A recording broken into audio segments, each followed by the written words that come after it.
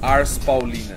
A arte paulina deriva seu nome da hipótese de ter sido enviada primeiramente ao apóstolo Paulo, que subiu aos céus, segundo a Bíblia, e aprendeu os segredos da comunicação com os espíritos, incluindo visões apocalípticas.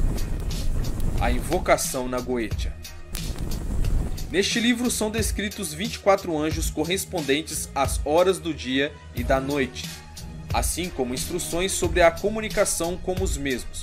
A comunicação é feita primordialmente pela técnica de Skyring, utilizando a Tábula Sancta, popularizada e aprimorada por John Dee em seus trabalhos sobre magia enoquiana.